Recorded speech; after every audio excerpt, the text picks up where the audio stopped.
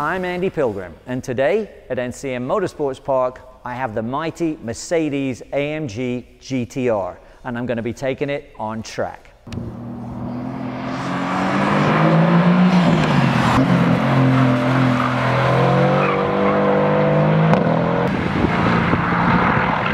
So the heart of the GTR really is in the engine. These engines are handcrafted AMG V8 4 liter motors. They are bi-turbo 577 horsepower, 516 pounds-feet of torque. It's a real monster engine, and that pounds-feet of torque, 1900 RPM is maximum torque. I mean, these things dig out of a corner like you can't believe. You might think from looking at the engine cover here, the nice carbon cover, that that's actually where the engine is located, but no, the engine is way further back towards the firewall, and that's for weight distribution. GTRs are a very high performance vehicle and weight distribution is critical. They ended up having a 47% weight at the front and a 53% at the rear. And this really is, is critical to how well this car handles. And one other point before we get out from the engine is this particular handcrafted engine was built by Sunel Mehmed Begovic.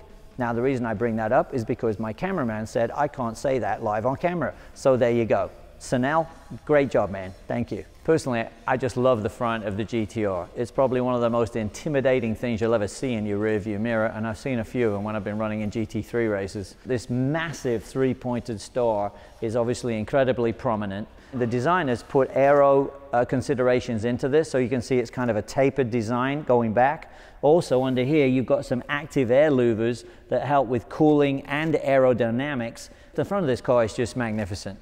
Before I talk about the brakes, I have to say something about the hood impressive, hugely long hood. I mean, personally, I've always wanted a car that you could land an airplane on the hood. This is the car. So, along with that magnificent hood, let's look at these brakes. They're really monsters.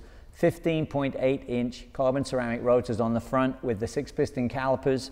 You need stoppers like this because the car is close to 200 mile an hour car. You absolutely need it.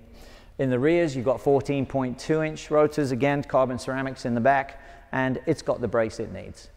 This particular GTR does come with a carbon fiber package. This car is just under 3,600 pounds, so anything they can do to save weight is good. Carbon roof, carbon rear wing, carbon side mirrors here. Weight savings is always an advantage in any sports car.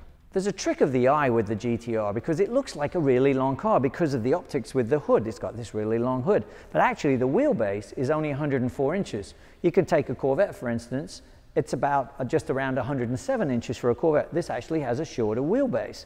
And if you look here, the driver positioning, the driver's head would be right here, which is about, you know, 15 inches maybe from the start of the rear wheel, and it seems like 27 feet to the front. But actually, you know, it's really close to the rear wheel. There aren't many cars where a driver's head sits this close to the rear wheels in relativity. And again, weight distribution, that's what it's about. Get the weight towards the rear, get those rear tires to hook up. And uh, they've just done a brilliant job with the design on this car.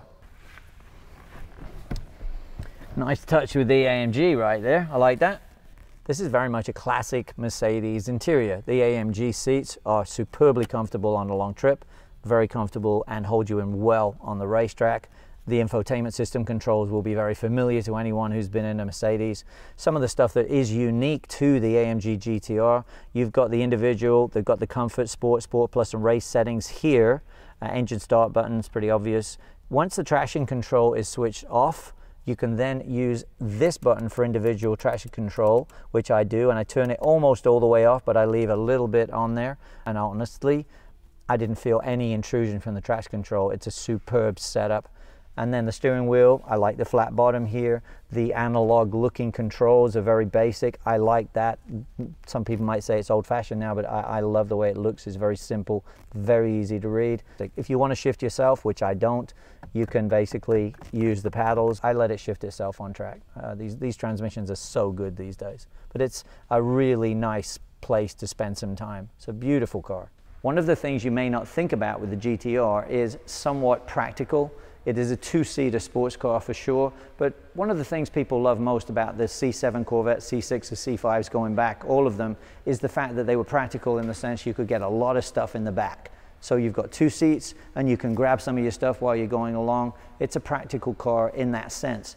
the GTR falls into that category. It actually has a lot of, lot of storage back here, a couple of sets of golf clubs, weekend bags, something like that. And I think just something worth mentioning, this is a real GT car. You can go away for the weekend and that's, that's pretty cool. All right guys, enough of the talk. Let's take this GTR on track. Great to hear this GTR booming down the front straightaway, almost 147 miles an hour coming into one.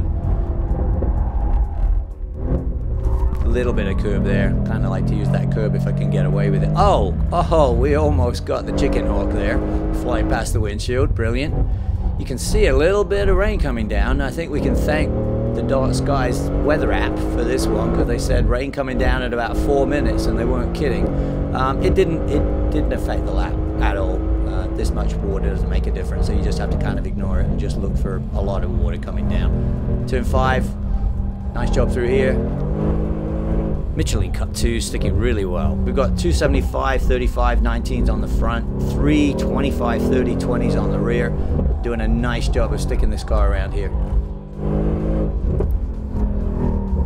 A little bit more rain. Didn't make me too nervous at all.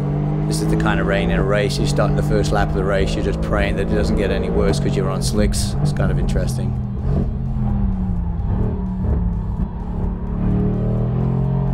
Bit of a mental game to just keep plowing through. We'd been fighting the rain here for the last several days. A tiny bit of standing water there between 12 and 13. Again, didn't affect anything. Almost 140 down through and 137 through 15. That is a, it's flying through there. Feels really good. This is a tricky corner. 17's a tricky corner. You can see a tiny bit of oversteer there. It's a slippery corner. Good one. Really enjoy that corner. Keeping it tight, tight, tight around here. These cars are so fun to drive and I just love the noise. Just, just great sounding engine in these cars.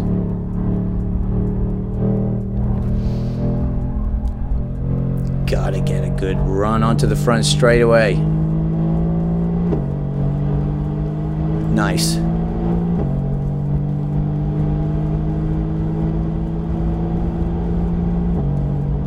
Almost a 10. 1101. Great time. Right alongside the Porsche Turbo S and the Porsche GT3. We did manage to just beat the rain and I did get a hot lapping in the car and as I suspected, it did an amazing time. And I think that's what's incredible about this car. You look at it and you see just beautiful style, you get inside it, and it's got all the executive luxury you'd expect from a Mercedes. And I think that, that's the essence of this car right there. It's got the performance, and it's got the luxury, and it's got even a practicality as a street car. Well done, all the folks at AMG in Affalterbach. You built a heck of a car.